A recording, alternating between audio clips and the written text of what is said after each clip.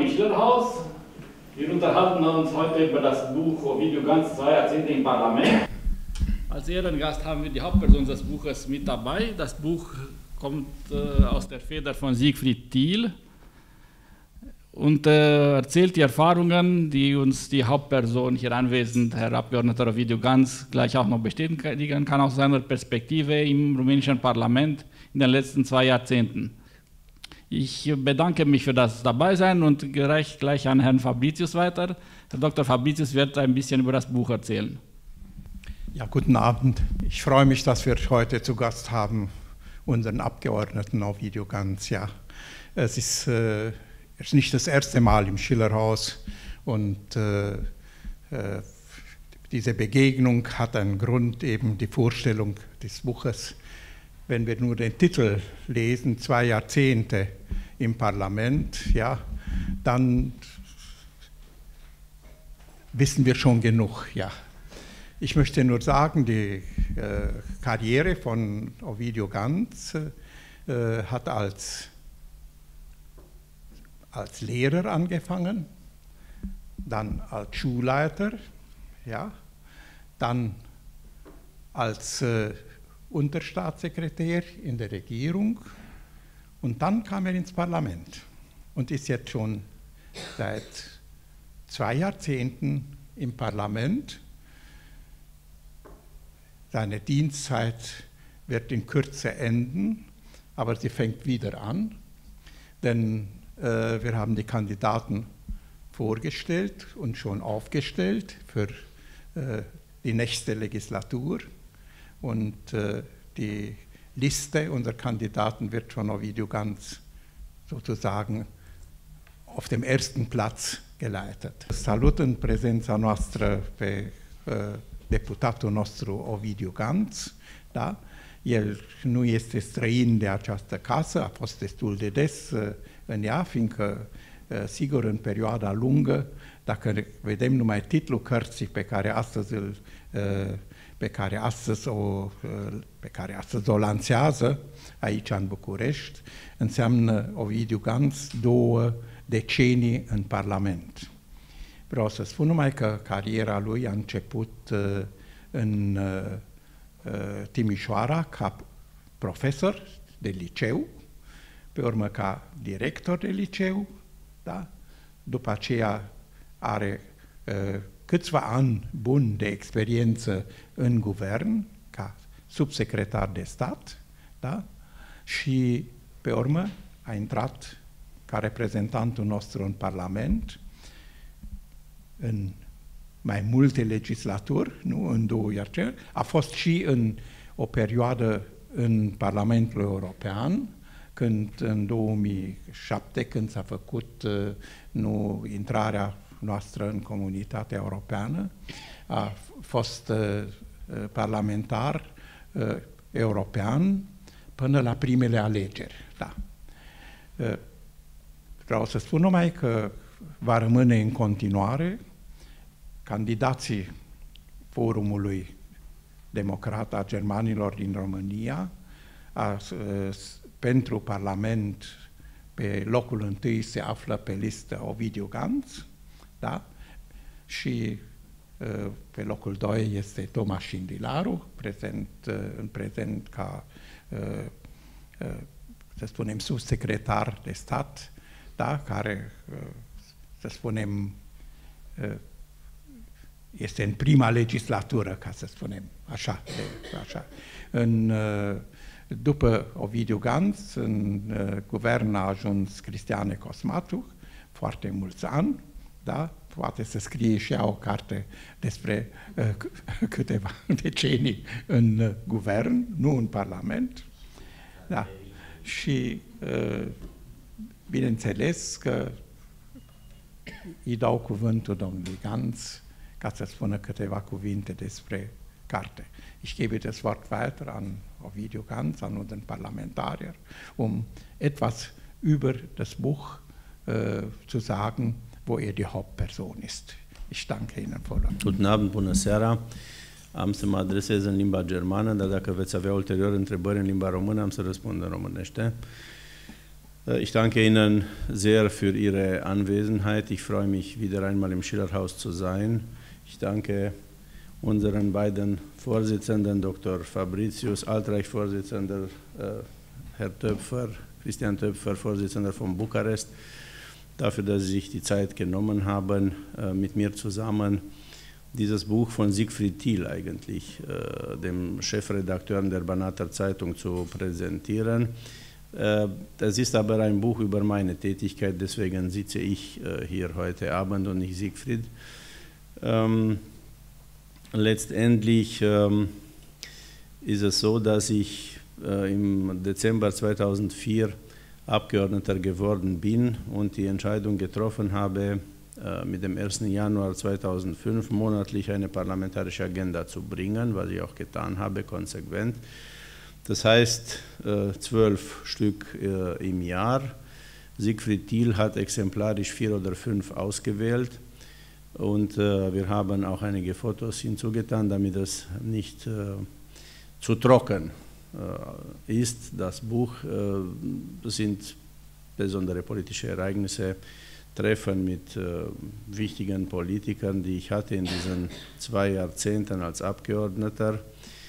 Ähm, die, der, der, Sinn der Übung ist natürlich die Transparenz in der Ausübung des Amtes als Abgeordneter. Deswegen habe ich diese Entscheidung getroffen. Es ist äh, selbstverständlich, dass man als Politiker gegenüber den Bürgern und den Wählern, vor allem den Kollegen im Forum, den Sympathisanten berichtet, äh, was man so tut, außerhalb äh, jetzt äh, der parlamentarischen Tätigkeit, der legislativen Tätigkeit, die ja an sich ohne weiteres ersichtlich ist auf der Website des rumänischen Parlaments. Ähm, deswegen, wie gesagt, diese parlamentarische Agenda. Ansonsten mit der Zeit, nachdem Social Media nachgezogen hat, habe ich ein Facebook-Konto eingerichtet, das läuft auf, ausschließlich auf Rumänisch, also damit auch die rumänischen äh, Sympathisanten mitbekommen, was äh, der Abgeordnete der deutschen Minderheit im Parlament so tut, vor allem deswegen, weil wir äh, viele rumänische Sympathisanten haben, aber auch viele Wähler, äh, die das Forum wählen, die nicht unbedingt jetzt äh, ethnisch Deutsche sind. Ähm, es gibt äh, in diesen Berichten äh, nichts äh, Großartiges sozusagen. Es ist die Essenz der Politik der deutschen Minderheit in den letzten 20 Jahren. Es ist ja so, dass man vielleicht als Alleinstehender so im Parlament den Eindruck vermittelt, dass man selbst da irgendwelche äh, politischen Sachen entscheidet und tut. Es ist äh, eigentlich nicht so. Der Abgeordnete ist im ständigen Kontakt mit dem Landesvorsitzenden und mit dem Landesvorstand und spricht sich ab. Gerade in entscheidenden politischen Fragen ist er nicht im Alleingang da. Und das ist auch äh, konsequent geschehen. Seit 2013 ist ja Jürgen Pohr Landesvorsitzender. Wir sind im engsten äh, Kontakt. Wie Sie wissen, gibt es zwei äh, Komponenten dieser Politik der deutschen Minderheit, die Innenpolitik und die Außenpolitik. Die Außenpolitik richtet sich vor allem nach Deutschland. Die deutsche Minderheit in Rumänien hat ja beschlossen, das Forum sowieso, dass wir äh, uns dafür einsetzen, dass die rumänisch-deutschen Beziehungen erweitert wie auch vertieft werden. Das haben wir konsequent getan. Alle unsere politischen äh, Vertreter nach 89 haben das konsequent getan, egal in welcher Position, werden es auch weiter tun, weil wir der Überzeugung sind, dass es für unser Land, für Rumänien von großem Vorteil ist, enge Beziehungen zu, zur Bundesrepublik zu haben. Deutschland ist unser wichtigster Handelspartner mit über 43 Milliarden Euro Volumen dieses Handels im letzten Jahr. äh, ist der wichtigste Investor in Rumänien, wenn man die Quelle des Kapitals beobachtet, so die rumänische Nationalbank. Und man muss auch äh, sehen, dass äh, über 250.000 Arbeitsplätze hierzulande durch deutsche Investitionen zustande gekommen sind. Also das sind wichtige äh, Sachen. Natürlich ist Deutschland äh, unser politischer Partner in der äh, Europäischen Union, aber ist auch unser Alliierter in der NATO. In diesen schlimmen Zeiten ist es relevanter denn je und äh, deswegen ist auch unser Beitrag relevant. Sie werden auch im Buch einige Beispiele finden, wo ich als Abgeordneter in der Beziehung zu deutschen Würdenträgern äh, Kontakt hatte, mit ihnen mich ausgetauscht habe.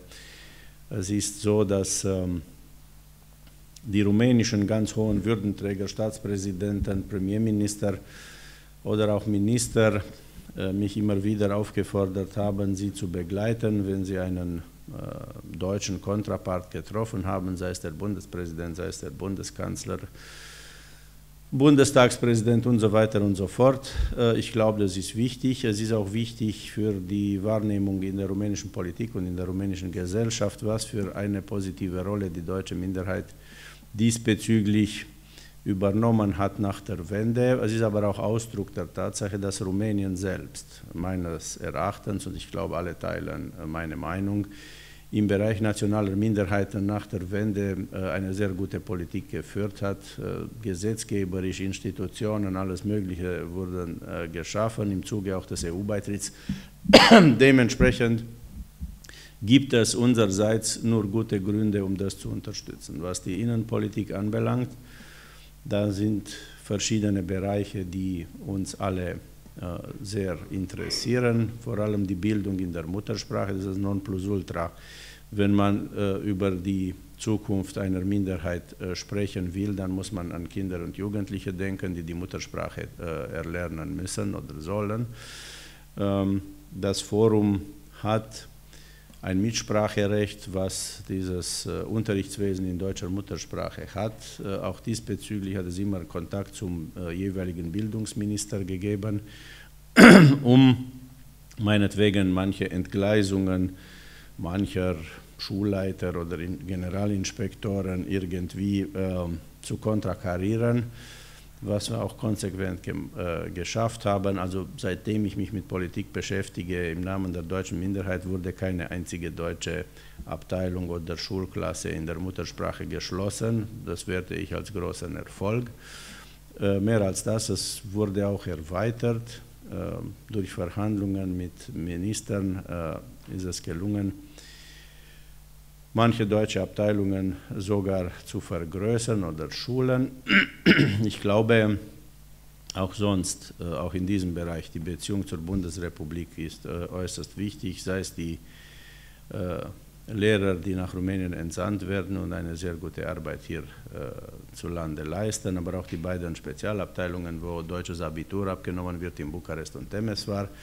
Das sind ganz wichtige Einrichtungen für die Zukunft unserer Jugend.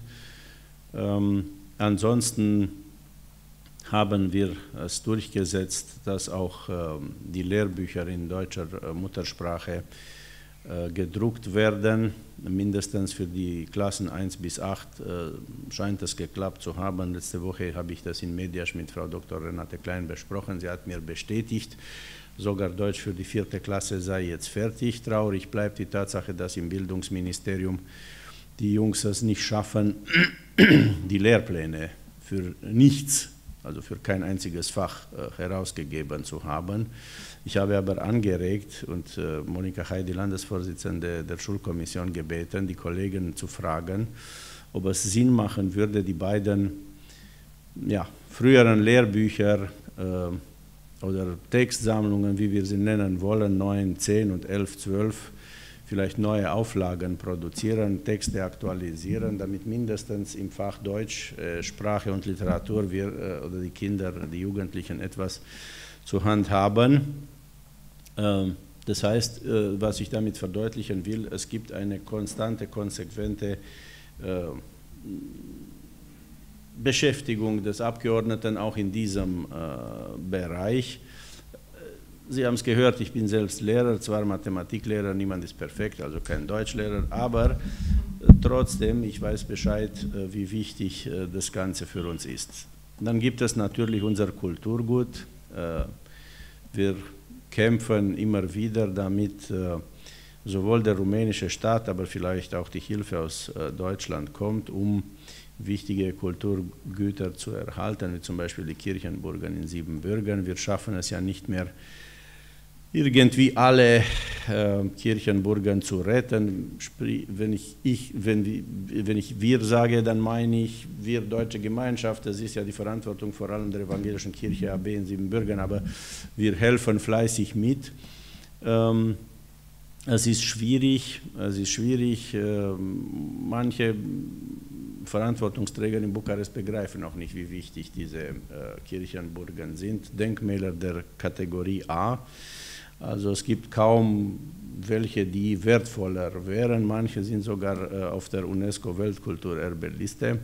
Trotzdem regnet es rein. Also äh, das ist auch eine äh, wichtige Angelegenheit für mich als Abgeordneter gewesen. Selbstverständlich unser Sozialwesen. In dieser Hinsicht möchte ich die Seniorenheime und die Sozialstationen nennen. Hier äh, ist vor allem das BMI zuständig, also die Beziehung zur Bundesrepublik wegen der Finanzierung, aber auch sonstige Partner, wie das Land Bayern. Ich will auch in diesem Rahmen Barbara Stamm nennen, weil wir auch im Buch zusammen erscheinen. Eine langjährige Partnerschaft, die unseren Senioren und unseren Sozialbedürftigen vieles gebracht hat.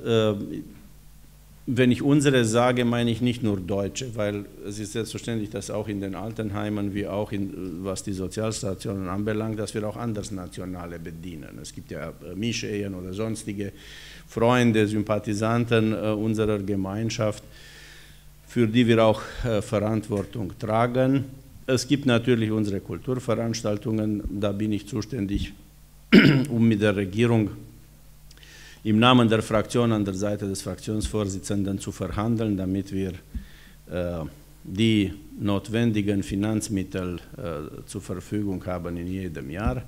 Ich bin sehr zufrieden mit diesen Verhandlungen, weil wir in den letzten fünf Jahren äh, diesen Etat verdoppelt haben, nominell.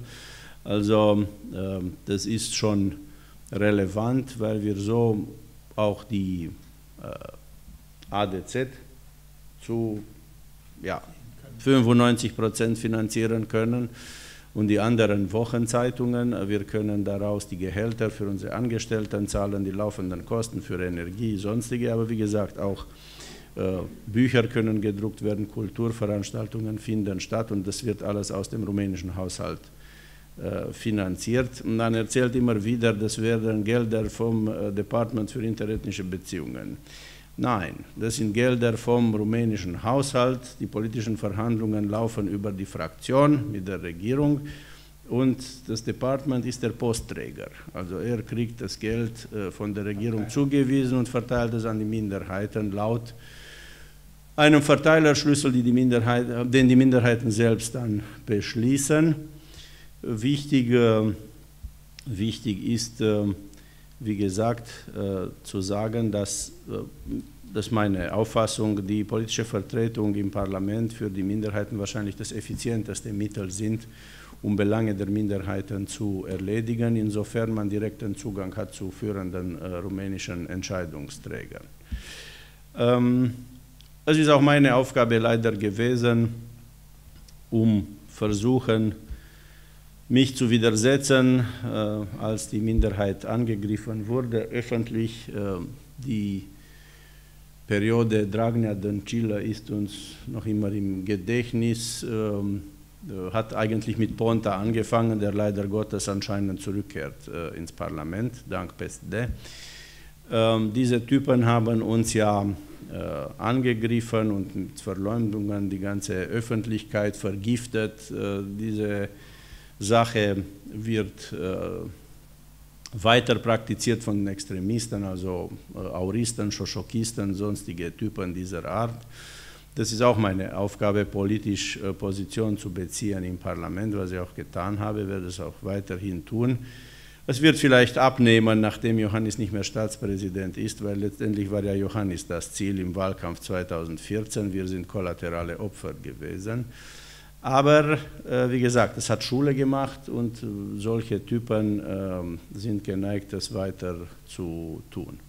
Ich will Sie nicht lange langweilen mit meinen Ausführungen. Sie werden, wie gesagt, im Buch viele Beispiele finden von dem, was die äh, was der Vertreter äh, der äh, Minderheit hier tut, aber weil Luise Schifter-Popescu anwesend ist, ich habe was vergessen.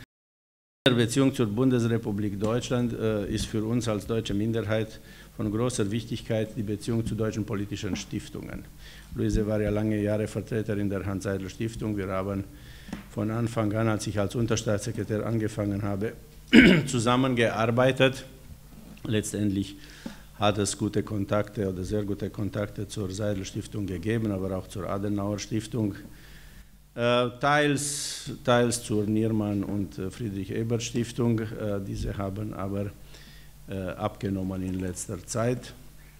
Wichtig ist, dass äh, diese auch wichtige Beiträge zusammen mit uns als Minderheit zur äh, Entwicklung der rumänischen Demokratie hatten und ich glaube weiter haben können. Ich glaube nicht, dass wir jetzt eine äh, mustermäßige Demokratie sind. Ich glaube, es muss noch daran gearbeitet werden und ich bin überzeugt, dass die deutsche Minderheit, so wie sie sich befindet, äh, zahlenmäßig gering geworden, aber äh, weitaus relevanter als die Zahlen es hergeben, in der Mitte der rumänischen Gesellschaft und des rumänischen politischen Spektrums ihre Auf, ihrer Aufgabe gerecht werden wird, auch in Zukunft. Und dazu werde ich selbstverständlich weiter beitragen wollen. Sie haben es gehört, Dr. Fabricius hat es gesagt. Der Landesvorstand und die Landesvertreterversammlung haben einstimmig die Liste der Kandidaten beschlossen. Die Liste beginnt tatsächlich mit äh, mir und mit Thomas Schindilario. Ähm, das Buch äh, ist ja kein Geheimnis, ein offen, offenes Geheimnis, äh, ist rechtzeitig erschienen, um auch im Vorwahlkampf zu dienen. Ich muss mich, äh, möchte mich unbedingt äh, unseren Mitgliedern und Sympathisanten wieder einmal präsentieren. Ich werde durch das Land reisen. Ich habe schon angefangen mit Altreich und Buchenland. Ich war inzwischen in Galați, Tulcea, Constanța, Craiova, Pitești, Iași und Suceava. Werde nächste Woche dann nach Bacău und Piatra Neamț, vielleicht auch Moinești fahren und dann im November nach Siebenbürgen, Nordsiebenbürgen und ins Banat. Das ist der Sinn der Übung. Nochmal Dankeschön, dass Sie gekommen sind. Selbstverständlich stehe ich für Fragen zur Verfügung. Die Fragen auf Deutsch werde ich auf Deutsch beantworten, die Fragen auf Rumänisch auf Rumänisch. Vielen Dank.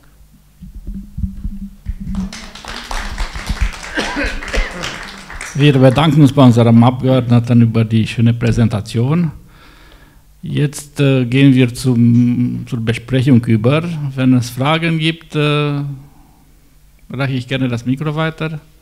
Dacă sunt întrebări pe care ați dori să le adresați domnului deputat, putem demora acum partea de discuție a întrunirii noastre.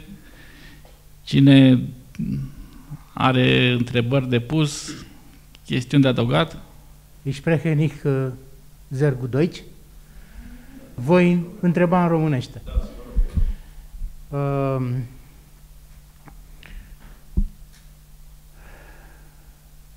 de fiecare dată când am întâlnit uh, buletine de vot cu formul german, am votat formul german. La aceste alegeri vor fi buletine de, cu formul german, adică liste de candidați cu formul german, pentru că înțeleg că poziția dumneavoastră este oricum asigurată, fiind reprezentantul minorității germane, alta decât uh, maghiare în uh, Parlament. Nu mai este așa? Nimeni nu poate accede în Parlament fără să treacă prin procesul electoral. Deci, ideea uh, asta e acreditată de reprezentanții partidelor, cum că noi am intrat automat în Parlament. Nu e adevărat. Deci nu e adevărat. Ei spun asta din cauza faptului că își dau seama că unii cetățeni sunt tentați să ne voteze pe noi și implicit nu pe ei. Și atunci uh, vin cu povestea asta. Există un prag electoral și pentru minorități naționale. Noi trebuie să atingem un anumit număr de voturi care este în relație directă cu prezența la vot. Deci cu cât prezența e mai mare, ne trebuie mai multe. Um, deci, evident că și de data aceasta, pe buletinele de vot, uh, se va regăsi căsuța cu forumul german, semnul electoral, inima și cele patru nume, Gantz și Indilariu, Rost și Manta Clemens.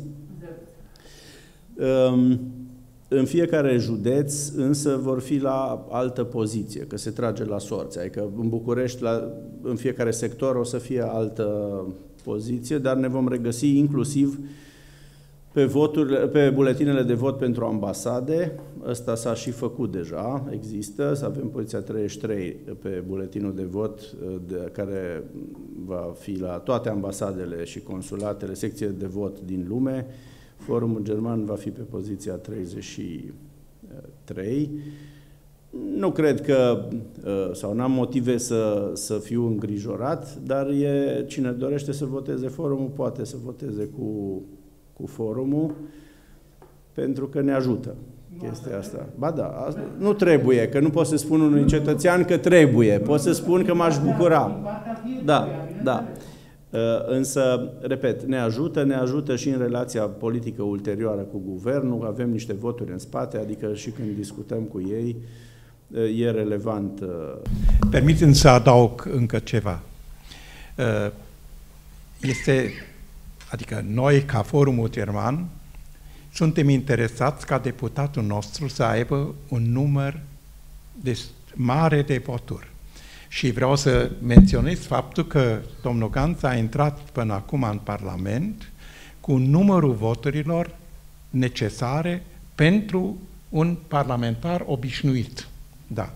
Ceea ce cu excepția 2020, când a fost pandemie și prezența a fost... A fost mai, mai mică, dar oricum, uh, nu este, adică în politica noastră a Forumului German, uh, vrem ca deputatul nostru să fie un reprezentant legal în uh, Parlament, să se bucure de numărul mare de voturi, că atunci, spunem noi, și uh, cuvintele noastre în Parlament sunt mai auzite decât dacă ar intra, să spunem, la limită uh, cu voturile necesare uh, pentru un uh, parlamentar care reprezintă minoritatea, uh, să spunem, națională, mică, că acolo este în fracțiunea a minorităților mici, adică a tuturor minorităților, cu excepția minorității maghiare,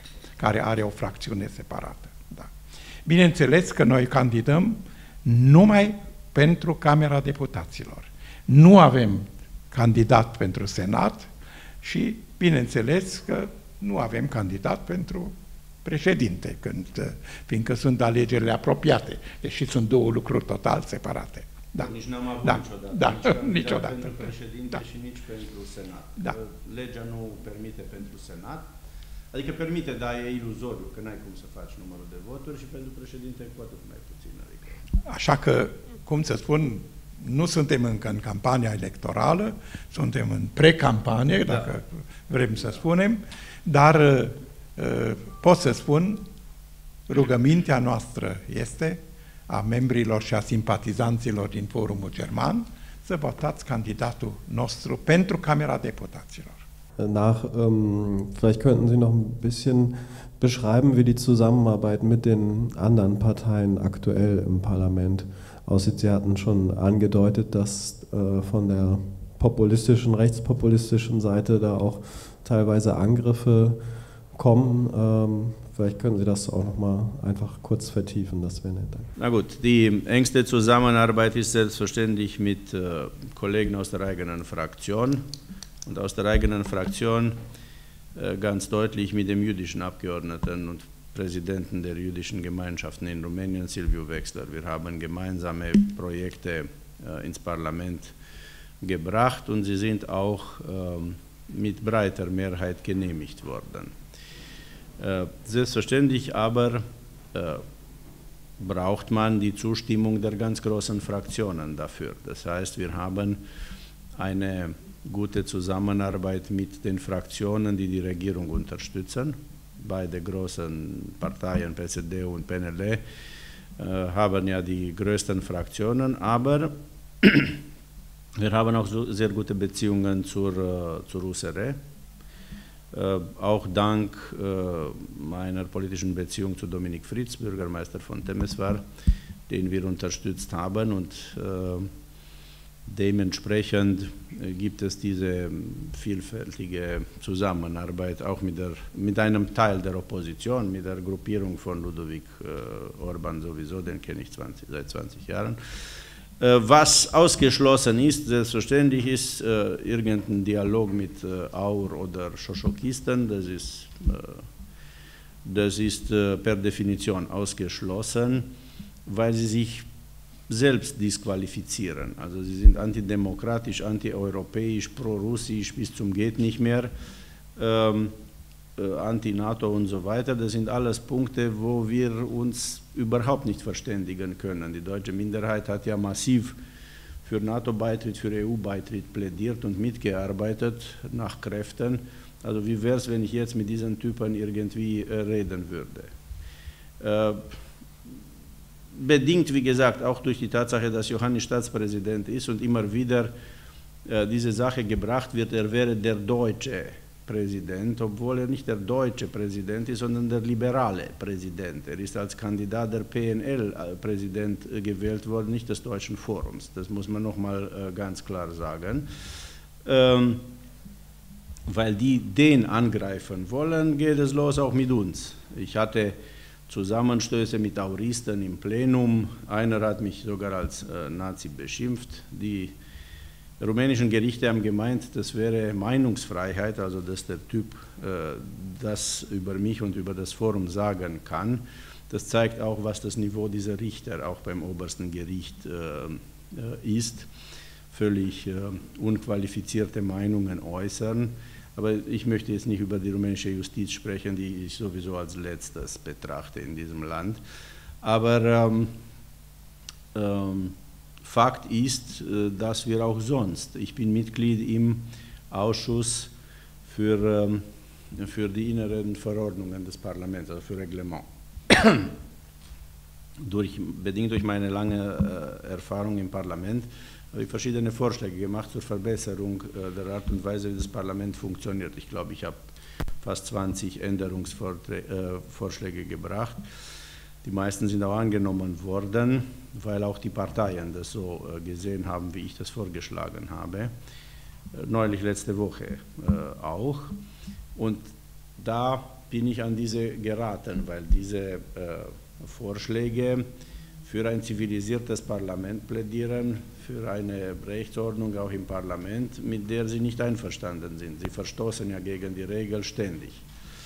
Und äh, daher auch die feindliche Einstellung äh, mir gegenüber. Gut, ich kann damit leben, wie gesagt, äh, ich kann ja erwidern, ich habe kein Problem damit, aber das Problem bleibt. Das sind antidemokratische Kräfte, Sie haben sie als Rechtsextremisten genannt, ich nenne sie Nationalpopulisten, ähm, weil ich nicht Nationalsozialisten sagen will, das hat eine andere Deutung, aber Nationalpopulisten und äh, die sind eine Gefahr für Rumänien. Ich kann nur hoffen, dass äh, die rumänische Wählerschaft diese Typen nicht wählt. Äh, apropos, der Landesvorstand hat des Demokratischen Forums der Deutschen Rumänien hat beschlossen, dass wir keine Empfehlungen äh, an unsere Mitglieder und Sympathisanten aussprechen, was die Präsidentschaftswahl anbelangt, mit einer Ausnahme. Wir bitten unsere Mitglieder und Sympathisanten, wenn das überhaupt nötig ist, bezweifle ich, dass es nötig ist, aber gut, keine Extremisten zu wählen. Gut, die eine Extremistin ist weg vom Fenster dank Verfassungsgericht, der andere läuft noch rum. Ähm, das Gleiche gilt für den Senat. Wir haben beim Senat keine Empfehlungen zu machen. Das, die Kandidaten sind ja unterschiedlich von Kreis zu Kreis, von äh, Sektor zu Sektor. Dementsprechend haben wir da nichts zu, zu sagen. Und bei der Abgeordnetenkammer, wie gesagt, bleibt es irgendwie quasi selbstverständlich, dass man die eigene Truppe wählt. Also ist zu erwarten. Ähm, so sieht es aus. Aber die Zusammenarbeit mit der Regierung ist einwandfrei. Ich habe auch äh, persönlich mit dem Premierminister ein sehr freundschaftliches äh, Verhältnis, auch zu seinem Vorgänger, nicht so freundlich, aber höflich. Wir haben gut zusammengearbeitet. Also mit demokratischen Politikern ist es kein Problem. Gott behüt, dass irgendwelche Typen kommen, die, mit denen man nicht reden kann. Aber das wird nicht der Fall sein. Die werden nicht an der Regierung beteiligt. Ich bin fest überzeugt.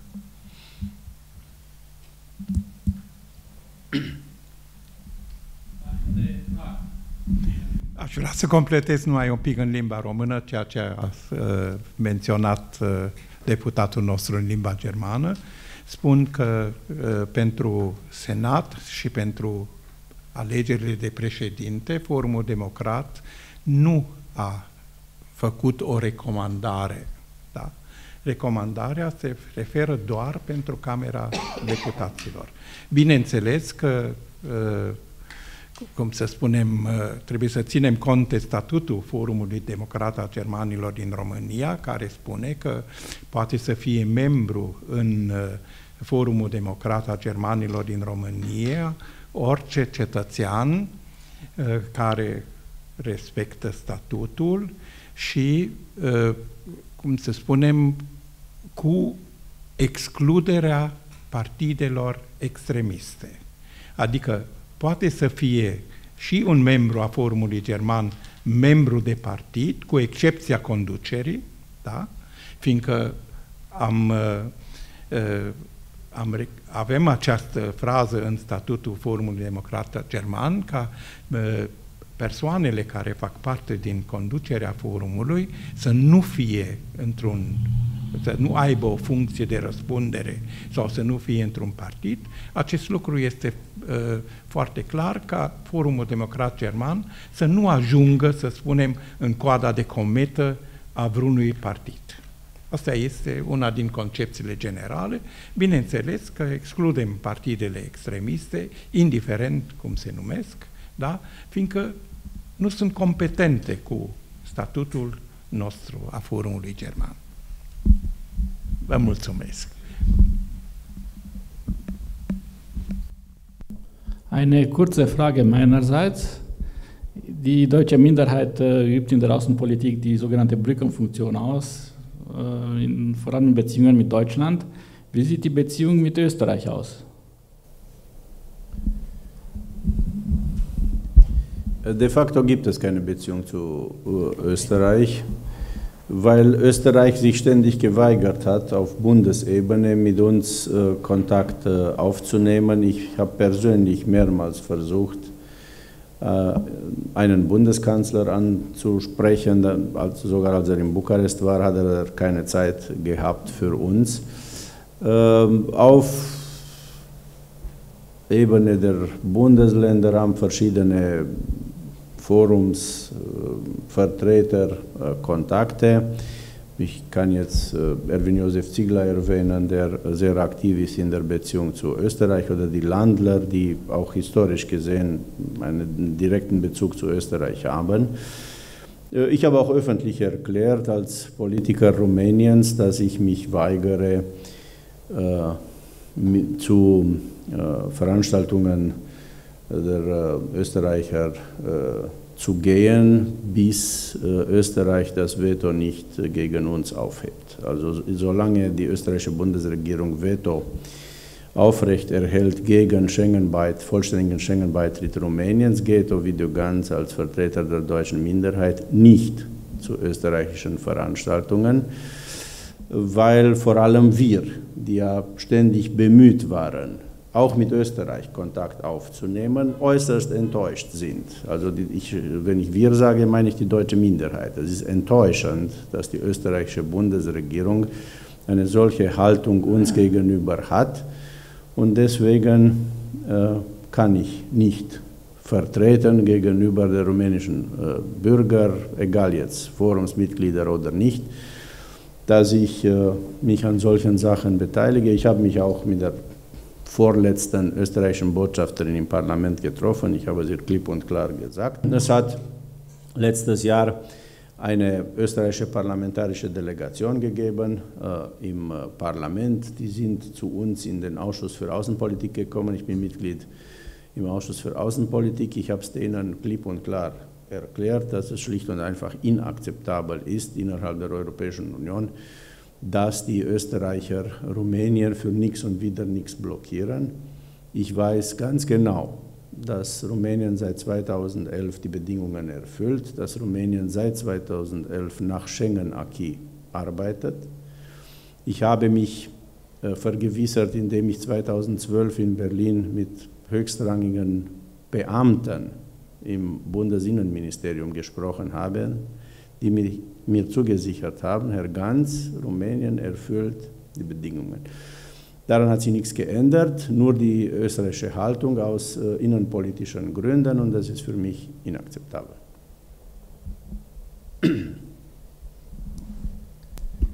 Dankeschön für die ausführliche Antwort. Gibt es noch weitere Fragen? Mai sunt întrebări pentru domnul deputat? Wenn es keine Fragen gibt, können wir unsere Veranstaltung dem Ende zu leiten lassen. Für diejenigen, die wollen, dürfen Sie ein Buch mitnehmen. Es steht Ihnen frei zur Verfügung. Der Herr Abgeordnete ist hier, es für Sie zu signieren, wenn Sie das möchten. Nochmal herzlichen Dank fürs Dabeisein. Mulțumim frumos pentru participare. Încheiem uh, manifestarea noastră se apropie de sfârșit, nu înainte de a vă invita să luați câte un exemplar din cartea care vă stă gratuit la dispoziție. Domnul deputat este aici pentru a vă semna o dedicație pentru cei care doresc. Vă mulțumim încă o dată pentru participarea dumneavoastră la manifestarea noastră. O seară agreabilă în continuare!